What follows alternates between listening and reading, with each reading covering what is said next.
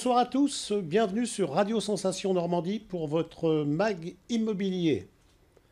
Nous allons aborder la seconde partie de notre pièce de vie, la cuisine. Pour en parler, toujours nos deux invités, Jacques Cernet, agent immobilier à Bernay, bonsoir. Bonsoir Pascal. Joseph Leroy, cuisiniste professionnel à Bernay et sa région, bonsoir. Bonsoir. Nous étions restés la dernière fois sur les règles à respecter pour l'implantation de la cuisine. Et il y a une règle qui me paraît importante, la règle numéro 3, les hauteurs à respecter. Oui, donc euh, Joseph. à ce niveau, il y a une nette évolution du, depuis quelques années. Euh, au préalable, les plans de travail en général étaient entre 86 et 90 cm de haut. Aujourd'hui, euh, on s'adapte euh, aux, grandes hauteurs. Donc, on a des plans de travail qui vont facilement entre 92 et 95 cm. les plaintes ont été réduites, ce qui fait qu'on a des volumes qu'à des meubles bas, on arrive à, avoir des volumes de 20, 20 à 25% supérieurs pour, la, pour, la même, euh, pour la même longueur. Et, c'est dû à quoi ça euh Simplement la, la, réduction des plaintes qui étaient avant de 14 ou 17 cm descendent maintenant jusqu'à 5 cm. D'accord. En ce qui concerne les, les hauteurs, alors c'est une très bonne transition pour moi. Merci Joseph. les personnes à mobilité réduite, Jacques Cernet, qui sont acquéreurs chez vous, est-ce que euh, dans une maison, vous avez certaines choses à respecter, des passages de fauteuils dans les, portes, etc., voire, voir dans, la cuisine, tourner dans une salle de bain, dans une cuisine? Alors, les normes pour les personnes à mobilité réduite sont obligatoires forcément pour les constructions neuves. Pour les constructions anciennes, elles doivent répondre aux normes de l'époque où elles ont été construites. En ce qui concerne l'exercice de mon métier, quand on va avoir un client à mobilité réduite, nous tenons compte forcément du sens de circulation et euh, des éléments qui peuvent être aménagés dans la cuisine, euh, sachant que nous avons eu des clients euh, vendeurs dans ce contexte et qu'il y a des équipements de cuisine avec du mobilier amovible électroniquement, les plans de travail qui descendent automatiquement, qui peuvent s'adapter justement au handicap de cette personne.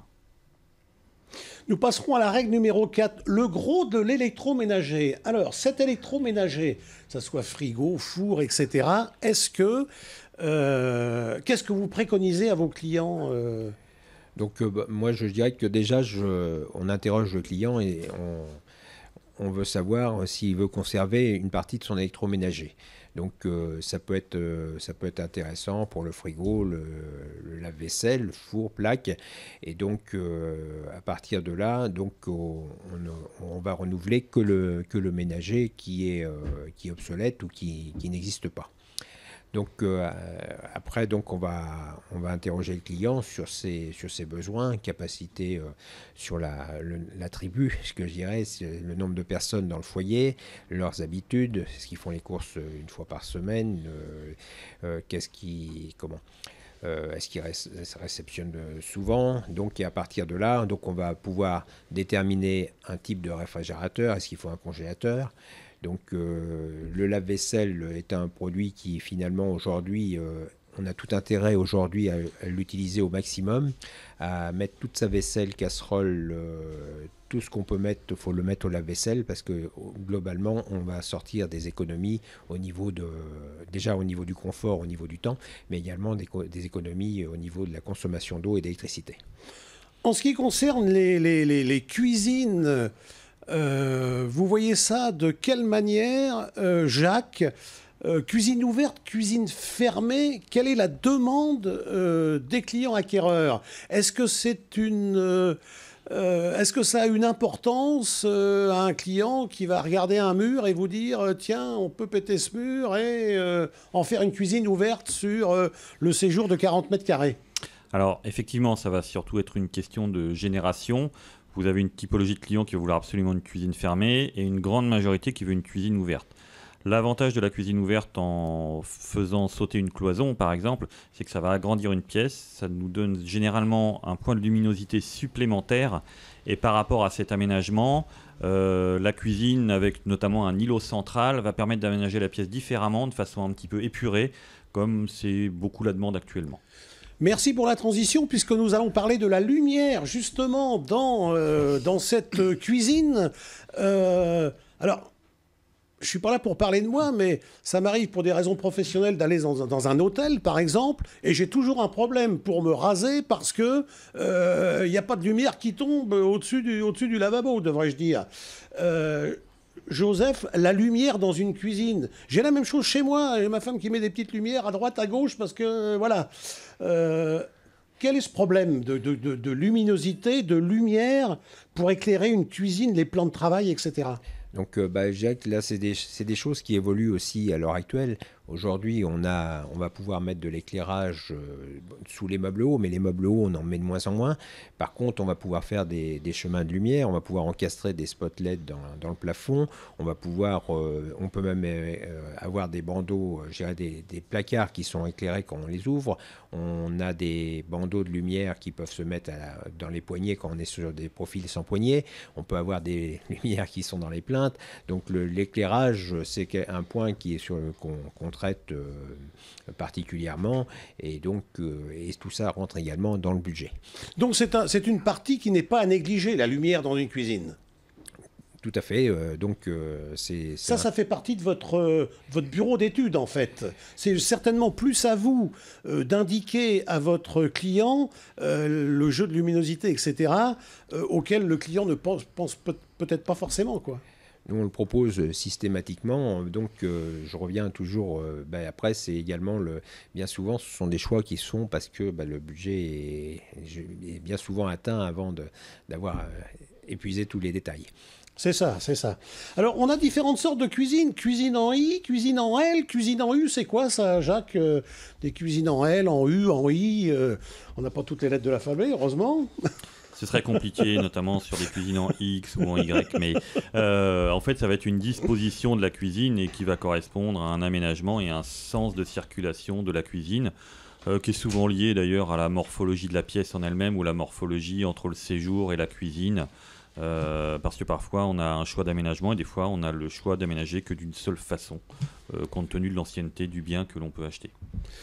Les cuisines, euh, en règle générale, que vous vendez, euh, ou que l'on vous demande plus exactement, euh, Joseph, parce que je suppose que votre client qui est en face de vous, il a des idées qui sont bien arrêtées, et là, vous êtes là aussi pour le conseiller.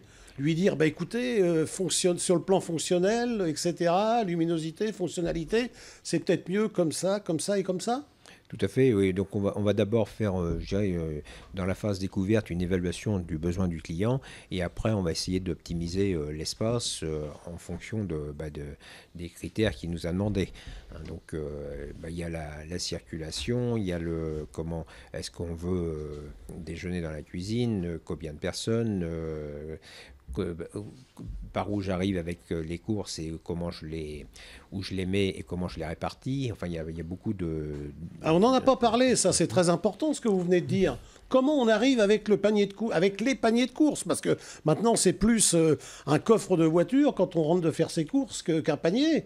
Euh, Excusez-moi, mais je bois beaucoup d'eau, moi, donc euh, les packs de flotte, ça prend de la place, quoi. Après, on n'est pas obligé de les mettre dans la cuisine non plus, vous me direz.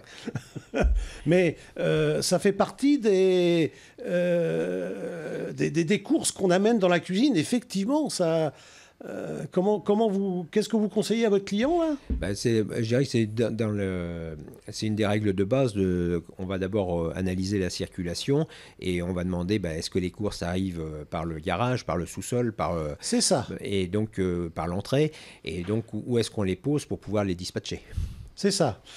Jacques, pour conclure, Qu'est-ce que vous avez comme... Euh, quand vous avez votre client acquéreur, en fait, euh, je suppose qu'il a des critères vraiment très déterminés. Après, ça, ça, ça s'affine, les critères, ça, en matière de cuisine ou autre, parce qu'il n'y a pas que la cuisine, mais la cuisine, la salle de bain, c'est quand même des pièces à vivre. Euh, enfin, à vivre, on y va tous les jours, quoi, je veux dire. Alors au départ, souvent les clients ont des critères très très déterminants et déterminés.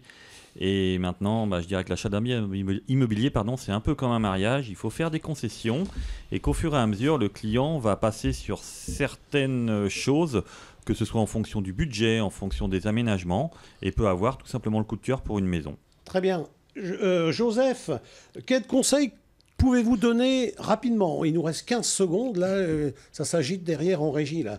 Euh, il nous reste 15 secondes pour euh, juste nous dire quel conseil que vous pouvez donner à votre client qui vient vous voir pour avoir une première, pour, puissiez faire une première ébauche de cuisine. Moi, le conseil que je, que je donnerais surtout, c'est qu'un projet de cuisine, c'est quelque chose sur lequel on va s'engager pour 15 ou 20 ans. Et donc, euh, surtout pas euh, céder aux sirènes de la forte promotion ou de, de l'affaire à faire. C'est de prendre vraiment son temps, de bien étudier, de, je que de, d'enregistrer les informations qu'on donne, les conseils qu'on donne, de les valider et de vraiment de, de passer à toutes les étapes euh, de, comment, de, de, critères de choix de, pour pouvoir prendre sa décision. Mais pas, la couleur, c'est secondaire. Hein. On n'arrive pas en disant je veux une cuisine verte rouge. Quand il reste la, quand il reste la, couleur, ça, va, ça va bien. C'est terminé, messieurs. Merci d'avoir accepté l'invitation, Joseph. Merci, Jacques, d'avoir également accepté cette invitation. Vous pouvez retrouver ce mag en podcast dans votre magazine L'immobilier en question et sur votre chaîne YouTube. De nous, nous rendez-vous la semaine prochaine à 19h35 après le Flash Info Régional où nous parlerons cette fois-ci avec notre agent immobilier. Que s'est-il passé euh, en 2017 et surtout des prévisions 2018 et des modifications qui ont été apportées par nos nouveaux gouvernements pour 2018, parce qu'il y a quelques petites choses intéressantes. On parle des bonnes, mais les moins bonnes, elles passent généralement comme ça, on n'en parle pas trop. Très bonne soirée, portez-vous bien, à très vite.